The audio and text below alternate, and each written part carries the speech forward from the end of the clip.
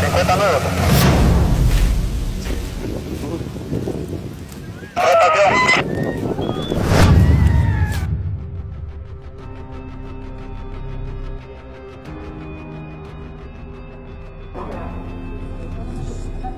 Quiero, quiero aclarar que este tema de falsas acusaciones no es nuevo. Ya fue abordado en la entrevista que sostuve con los funcionarios de Estados Unidos en noviembre del año pasado. Cuando les informé de la falsedad de estas acusaciones que no tienen sustento. Como lo he expresado en varias ocasiones, sigo a la entera disposición de la justicia hondureña e internacional para cualquier investigación que se requiera. Así como lo demostré en mi viaje a Estados Unidos, cuando por iniciativa propia, libre y voluntaria, me presenté a rendir declaración ante los funcionarios del Departamento de Justicia en la ciudad de Miami. También el 26 de enero del presente año, como iniciativa propia y de manera voluntaria, rendí declaración sobre este caso ante el Ministerio Público y sigo a la disposición ante cualquier investigación o solicitud de información adicional. Quiero reafirmar ante la opinión pública nacional que no es cierto lo que se dice de mi participación en supuestas actividades ilegales. Y no es posible que nos parezca correcto que los patos quieran dispararle a las escopetas. Por muchos años los miembros de la organización criminal de la familia Rivera Maradiaga, conocida como Los Cachiro, hicieron mucho daño a las familias hondureñas en su negocio de tráfico de drogas, asesinato y otras actividades delictivas. Con todo el dinero, logística y armas del que disponían, y la sociedad hondureña no debería permitir que estos delincuentes usen ahora como armas la mentira y la calumnia con el propósito de seguir haciendo daño y desacreditar a los que luchan de manera frontal contra estas bandas criminales. Quiero reafirmar de forma contundente que estoy dispuesto a colaborar con cualquier investigación que de forma seria se realice. Y tal como lo hice, estoy dispuesto a volver a presentarme ante las autoridades de Estados Unidos cuando así se requiera porque el que nada debe, nada teme. Gracias, señores. Buenas noches. Hermano del presidente hondureño Juan Orlando Hernández y sospechoso de vínculos con el narcotráfico, fue arrestado el viernes en Miami. A nosotros. El jefe del cartel Los Cachiros, Davis Leonel Rivera Maradiaga, declaró en 2017 en una corte de Nueva York para poder haber sobornado a Juan Antonio Hernández cuando a era los demás, diputado a cambio de cooperación.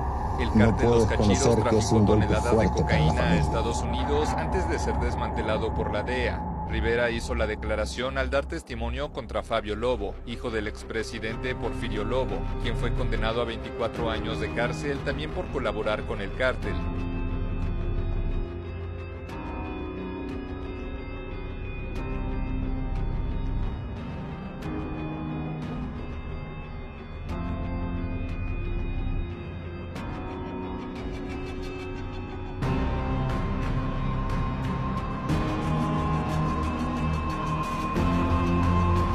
CNN tuvo acceso a una imagen confidencial de radar de Estados Unidos cerca de aquí, que muestra el brusco giro a la izquierda que hacen los aviones de Venezuela antes de aterrizar en las remotas costas centroamericanas. Allí es donde retomamos el rastro de este tráfico en auge, en la costa hondureña, que se ha vuelto un cementerio surrealista de narcoaeronaves. La carga de cocaína que llevan vale tantos millones que cada avión en sí mismo es solo una fracción de un trato multimillonario, así que muchos son desechados como si fueran botellas plásticas usadas por toda la selva. Y abarrotados aquí, en un recodo del río. Las tropas con las que vamos no quieren salir en cámara por seguridad. Algunos de estos aviones tienen sus siglas borradas para hacer más difícil el trabajo de identificar de dónde vinieron. El consumo de droga en Estados Unidos es donde comienza todo, el dinero, la podedumbre, pero ese mismo libre mercado también suministra una parte clave de la logística. El fuego ha despojado gran parte del aparato de sus características distintivas, pero aún se puede ver N4. N significa que el avión proviene de Estados Unidos. Un funcionario estadounidense me cuenta que hay intermediarios que compran decenas de aviones en subastas por todo Estados Unidos, luego ocultan su propiedad a través de compañías ficticias y los envían al sur para comenzar la travesía de la cocaína desde Venezuela rumbo al norte. De nuevo otra N, lo que significa otra aeronave que comenzó sus días en Estados Unidos. No son solo los narcotraficantes en Venezuela y Estados Unidos los que hacen miles de millones de dólares, la, región entera está en eso. Este es de seguro el sector económico más grande de Honduras, con miles de millones en juego por todas partes. Desde esta carretera, que en realidad es una pista oculta, hasta el hermano del presidente de Honduras, imputado el año pasado de cargos de narcotráfico. No se puede impedir que los aviones se vendan o que despeguen, me explica un funcionario. En vez de eso, tratan entonces de complicarles el aterrizaje, haciéndole huecos a las pistas. Pero incluso bajarle la velocidad a este negocio multimillonario requiere muchos más huecos en esta vasta selva. La cantidad de dinero que aporta la cocaína aquí literalmente eclipsa todo esfuerzo por combatirla. Cantidades demenciales de dinero, dinero que poblaciones como esta no tienen. De hecho, los militares hondureños nos dicen que los narcotraficantes que viajan a estos pueblos a menudo se deshacen de su carga cuando creen que están a punto de ser interceptados.